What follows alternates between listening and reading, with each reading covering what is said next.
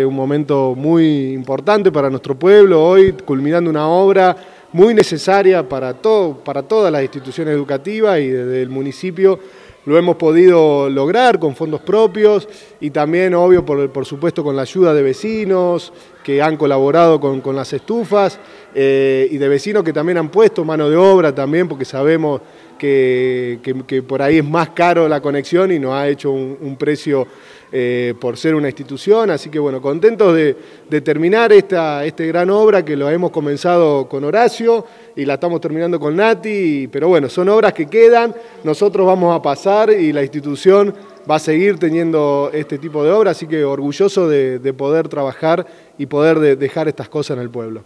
ti esto es fundamental, sobre todo, mira, justamente atravesando otra ola polar en el país es necesario, ¿no?, para los chicos. Sí, estamos felices porque, bueno, la calidez humana ahora se le suma a la calidez del ambiente y, bueno, como les decía hace un rato, es una obra donde cada uno puso su granito de arena, su corazón y, estamos absolutamente felices. Bueno, agradecidas ahí un papá que sabemos que desde hace tiempo está colaborando con la mano de obra, pero también la donación de calefactores. ¿no? Sí, un vecino se acercó a la escuela, bueno, allá cuando estábamos abiertos en el 2000, comienzo del 2020, a donar dos calefactores que ya están instalados en la escuela. Por eso digo que esto es una obra de la comunidad y de cada uno de los que forman la comunidad. Así que eso le da como un valor agregado.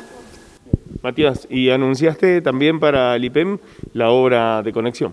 Sí, también, bueno, había pasado parecido al Bernardino, que habíamos traído el gas natural hasta la puerta y faltaba la obra interna, lo hemos conectado en el IP200 en la cocina y en algunos sectores, pero faltan las aulas, así que ahí lo estamos hablando con la directora y, ya está el vecino y, también técnico eh, gasista donde está haciendo el relevamiento y lo vamos a, conectar eh, muy rápidamente, así que bueno, eh, felices de, te repito, de poder seguir trabajando para las instituciones, se han conectado más de 14 calefactores, eh, y están todas las aulas, falta creo que un saloncito nada más, que ya también lo vamos a conseguir y lo vamos a conectar. La pregunta es qué sigue, ¿no? Siempre en algún momento mirando hacia adelante, alguna necesidad, carencia o desafío de, obtener. Mira, acá en, el colegio primario, desde que hemos iniciado nuestra gestión, hemos trabajado mucho con infraestructura de la provincia, en su momento con Nación, también han bajado fondos para arreglar los techos, la instalación eléctrica, eh, las aulas, hemos hecho un, salón de usos múltiples, eh, donde ha venido el gobernador a inaugurarlo en, el Día del Maestro, hemos tenido el placer de, recibirlo, y creo que la próxima obra que viene, que, no sé si se la adelanté a Nati, ¿no? pero tengo muchas ganas de hacer todo el patio nuevo, del piso, porque la verdad que ha estado por mucho tiempo las lajas y eso hay mucho, es, muy peligroso para que los chicos corran, así que la próxima obra, que será el año que viene, seguramente en la, temporada, para que los chicos empiecen a las clases el año que viene, de hacer toda la carpetita nueva del piso para que quede pintadito y que esté prolijito todo, todo ese sector, así que bueno, se los adelanto que lo voy a cumplir, así que va a estar eh, el patio ahí terminado también para los chicos. Horacio, cuando esto comenzó eh, parecía un sueño realmente complicado, muy difícil, ¿no? Pero hoy es una realidad. Así es, Daniel. Eh, te puedo llegar a decir, eh, resumir todo, que estoy feliz.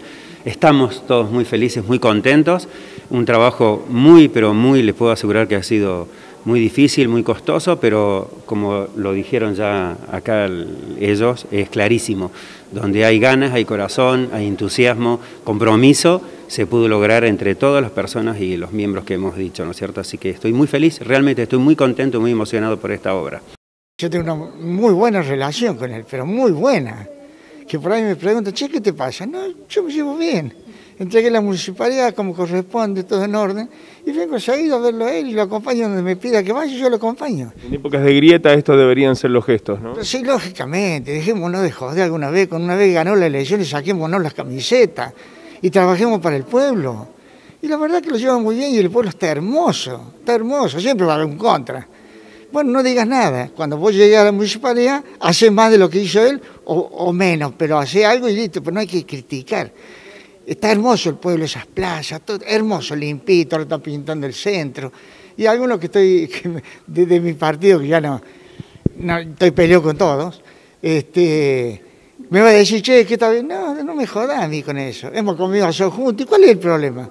Él tiene su idea, yo tengo la mía, pero nos respetemos y ya está. Que así tendría que ser. Esa es la democracia. yo estoy chocho lo que están haciendo acá en la escuela, eh, lo que está pasando en el día de hoy. No hay que mentir, en política no se miente, hay que cumplir y hacer y que nos unamos todos juntos alguna vez, todos juntos para trabajar para el pueblo, no verso antes de las elecciones y después no se hace nada. Lo están diciendo continuamente los periodistas en la radio, ustedes también lo dirán, porque es lo que está pasando.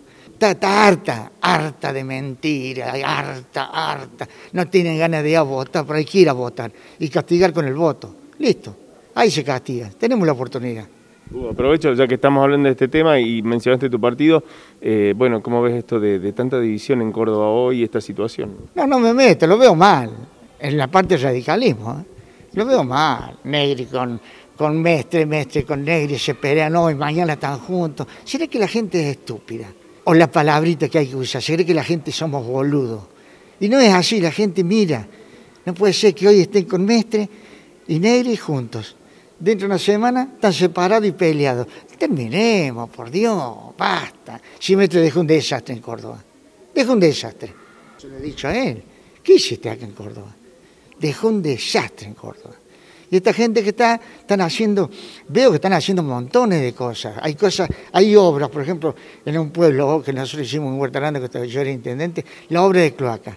La obra de cloaca no se ve, pero el vecino la está usando y es muy importante. A veces hay que hacer cosas que se vean y no es así. Hay que hacer todo, lo que se vea y lo que no se ve.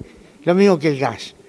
Y es tan importante el gas para nuestra localidad hay montones de ya barrios con gas, barrios con cloaca, un pueblo chiquito como este tenemos todo.